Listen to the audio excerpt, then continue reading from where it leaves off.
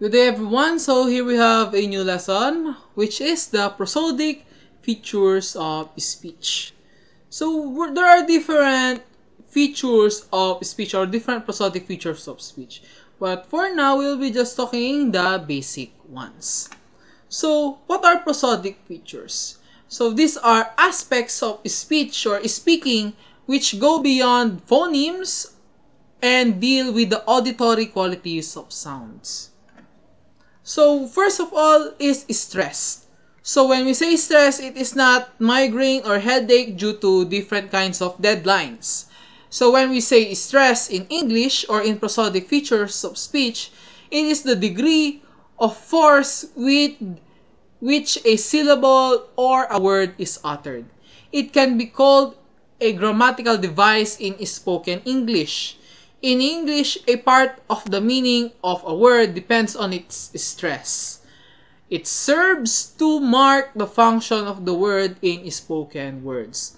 So, stress in English is the degree or force which a syllable or a word or a word is uttered.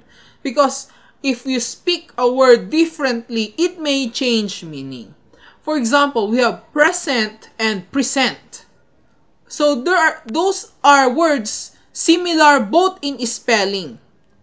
But just pronounce it or speak it differently, they will have a different meaning. One is present. It can be a present, a gift, or uh, today, right now, present. excuse me. Or present, uh, meaning to show let's to report something. So next is volume. So volume is the loudness or softness of sounds. It is used to show emotion. So it is basically the loudness or softness of your voice.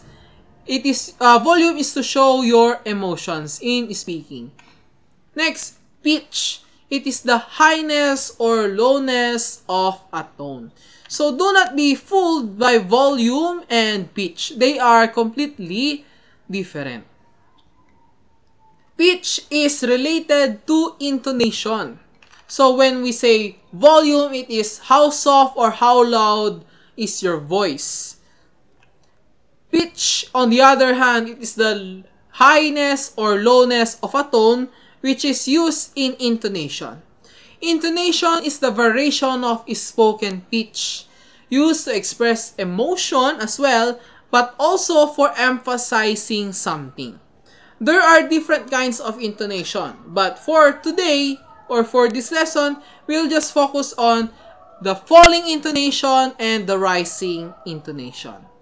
So when we say falling intonation, it is a sentence that is either a statement or it answers a question. And when we say rising intonation, it is either a question answerable by yes or by no. So, for examples, so he bought apples, peaches, pears, and oranges. We have, I'll have two pencils, a black pen, and some ink and we went to Paris, Brussels, Amsterdam, and London. Oh, lastly is I saw Esther, Jane, Neil, and Susan. So again, we just talk about the common or the basic part of prosodic features of speech. So I hope you understand this short video, this short lesson. So if you have any questions, so feel free to ask me. So that is all and goodbye.